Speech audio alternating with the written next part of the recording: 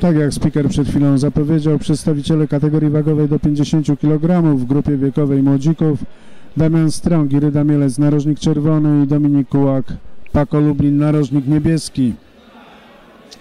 Zawodnicy są już w ringu. I za chwilę skrzyżują rękawice. 15 w kolejności pojedynek dzisiejszej gali pięściarskiej Międzynarodowego Pucharu Karpat rozgrywanego w Mielcu.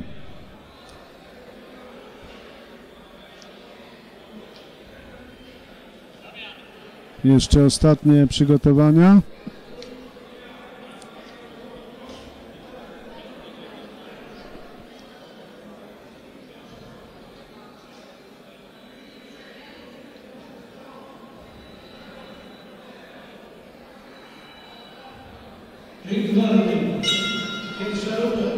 Magiczna formuła ring wolny, czyli rozpoczynamy rywalizację ringową właśnie.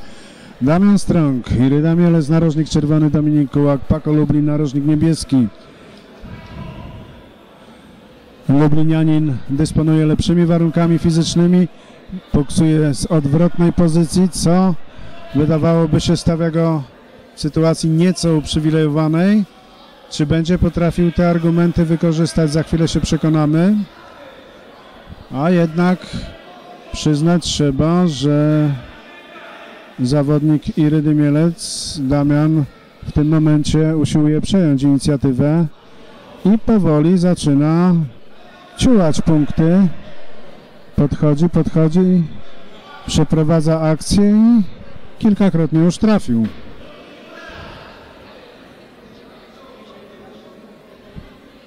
I znowuż No trochę niespodziewanie, bo wydawało mi się, że Lublinianin będzie w stanie y, wyeksponować tutaj swoje warunki fizyczne na korzyść y, dla siebie. Natomiast czy to mu się udało, nie jestem przekonany. Jednak inicjatywa w tych atakach, może nie jakichś takich huraganowych, ale w miarę skutecznych była po stronie jego rywala, czyli zawodnika Mieleckiej Rydy Damiana Stronka.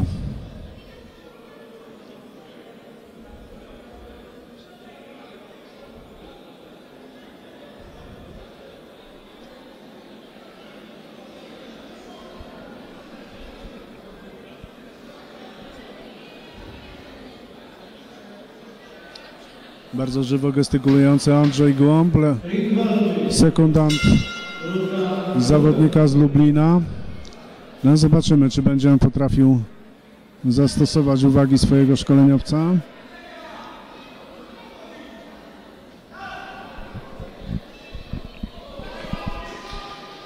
Nie wiem, jest dla mnie tajemnicą, dlaczego y, obaj zadają ciosy i mimo tego, że Lublinianin ma ramiona dłuższe, to jednak reprezentant Irydy trafia.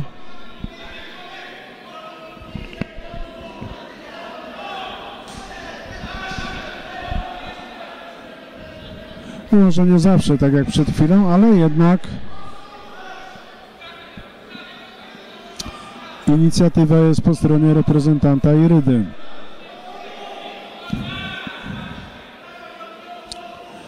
I tak jak Państwo widzieli, nagradzana jest skutecznymi trafieniami. Kolejny prawy prosty dochodzi do szczęki rywala. I znowu no, wydaje mi się, że nieznacznie na rundy powinien prowadzić reprezentant Mielca, czyli Damian Strong. Aczkolwiek pojedynek w przekroju dotychczasowych rund jest na tyle wyrównany, że sędziowie mogą spoglądać na to nieco inaczej.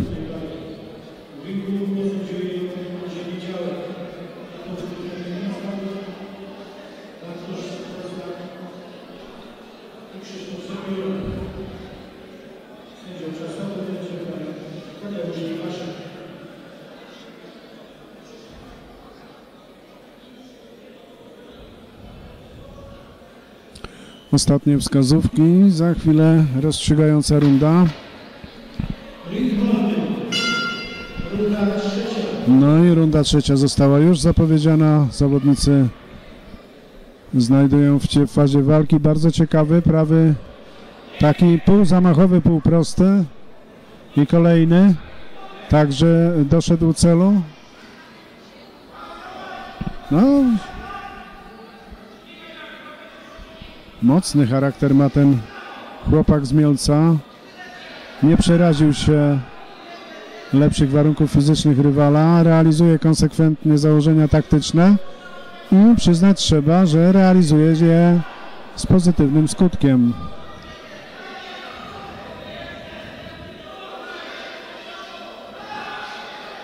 Kolejne potwierdzenie, czyli prawy prosty na szczęce rywala i znowu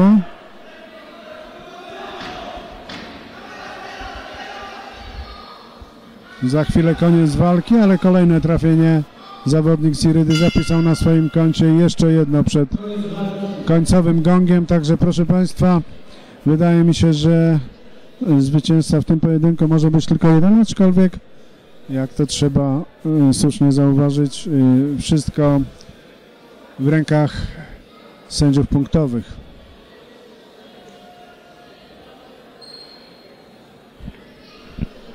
Była to ciekawa walka. Walka, w której mogliśmy się przekonać, że same warunki fizyczne nie zawsze są tym elementem, który powoduje, że się pojedynek wygrywa.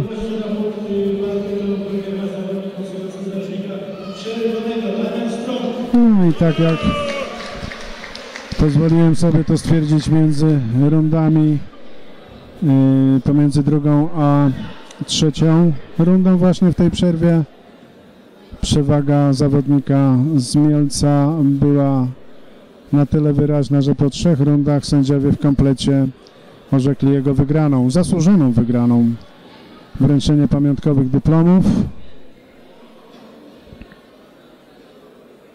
czyli smak tego, co w rywalizacji sportowej jest obowiązujące.